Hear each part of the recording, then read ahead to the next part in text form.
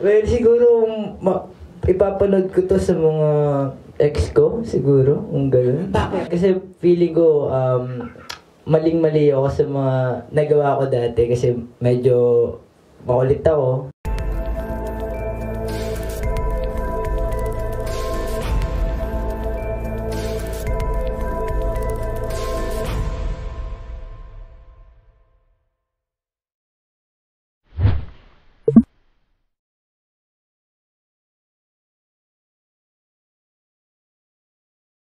Ako, dahil bago po siya sa akin yung teatro, at gusto ko pa po kasi matuto palalo. Tapos ang alam ko sa teatro, mas iba siya, iba siya yung iba yung atake, iba yung galaw, iba yung pag-aaral mo sa character, yung bawat gagawin mo iba. So para sa akin, feeling ko mas matututo. Kaya nung tinanggap ko to, hindi na hindi na mahirap kasi naka-work ko na rin po si Derek Phil sa PETA and ayun po, ginawa ko talaga to kasi gusto ko pa po mag-explore and happy ako sa sa kwento ng TikTok. So, yun.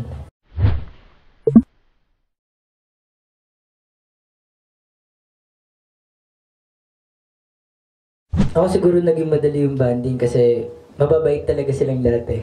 So, Sila? Oo, kasama ako dyan, oh. Kasama si Kuya Jake doon. Well, ayun, um, mas napabilis kasi sobrang, ano nila talaga, mabait sila lahat and happy kami na ginagawa yung mga rehearsal.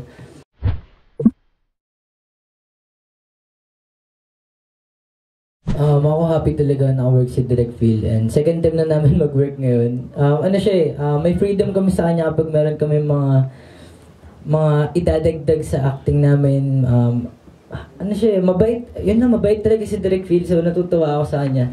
And sobrang thankful ako na napili nila ako dito sa TikTok. And um, sobrang smooth lang din ni Direct Phil sa rehearsal. Hindi ka hindi ka matataranta, hindi ka kakabahan sa kanya. Mas kakabahan kapag magpe-play na.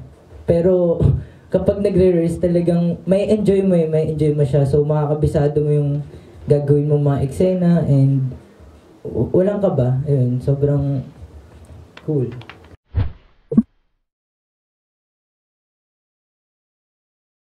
Ako siguro mapagayabang ako, um, ano siya,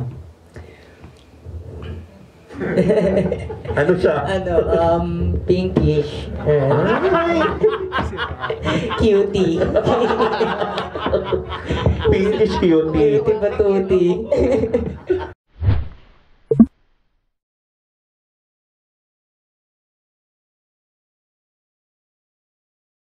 Anong mapaglalaban ng edits ko? Di ko din alam. Siguro. Lagi lang laban na laban tong edits ko. Ay, nasubukan nila. Parang, ah, y- yun lang siguro. Di ko rin alam kung anong paglalaban nito. And, ano yung second question po? Kung sino yung gusto mo, kanino mo to gustong ipakita talaga? Yung edits ko po mismo? Doon sa yung play mismo. Pwede na rin kung gusto mo.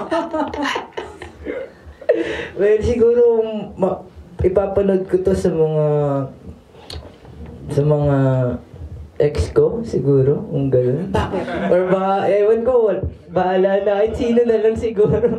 Hindi, bakit sa mga ex? Meron bang ano? um, wala naman, kasi feeling ko, um, maling-mali ako sa mga nagawa ko dati kasi medyo makulit ako. So, So papakita mo titi. oh, papakita ko lang sa kanila na ito yung, ito yung, ito yung totoong minahal nyo. ito seryoso na eh. Akala pakita mo, yun, ang gulo. Sorry. akala ko gold papakita mo sa kanila na ito yung sinayang nyo. Oo, parang gano'n.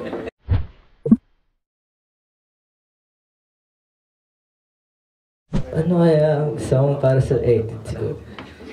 Siguro, kasi ako pag gumagawa ako ng kalokohan, nagpapatugtog ako ng Eye of the Tiger. Kasi sinasabayan ko talaga siya. well, ayun yun. Kaya feeling ko yun na yun.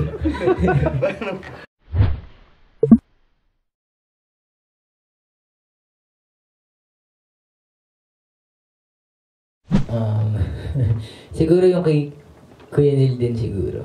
Mm, Kasi trip na trip ko din yung character niya na galit eh. Galit. Ewan ko ba't galit eh. Nagalit lang. Ah, ayun, kay, kay Neil po siguro.